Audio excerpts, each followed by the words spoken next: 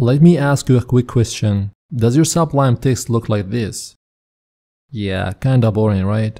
Now what if it looked like this? Exactly, much better. In this video I'm gonna show you how to make Sublime text look modern, beautiful, and way easier on the eyes.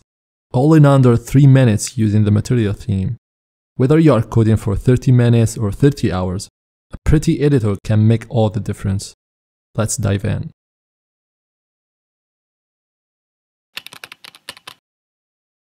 Alright, let's talk about why you should even care.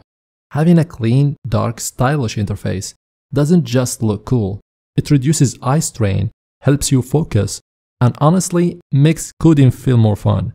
You spend hours inside your editor. Might as well make it a place you actually enjoy being in.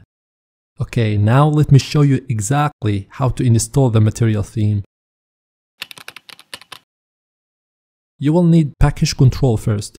Most of you probably have it installed already, but just in case, open the command palette with Ctrl, Shift and P. Then type install package control.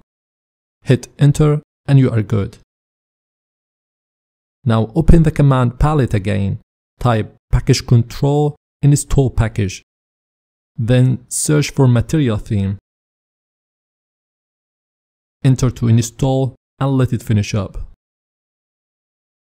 Once it's installed, you can activate it by opening the command palette again and typing material theme activate.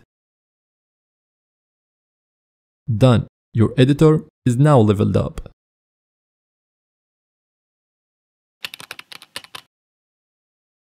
Now let's make things even comfier for your eyes and your code. Open up your user settings file and just add these three simple lines line padding top, let's make it 10, line padding bottom 10 as well, and font size, let's make it 8. These settings do wonders, add more breathing room between lines, make text more readable, and give the whole interface a cleaner feel. Trust me, once you try it, there is no going back. And there you go.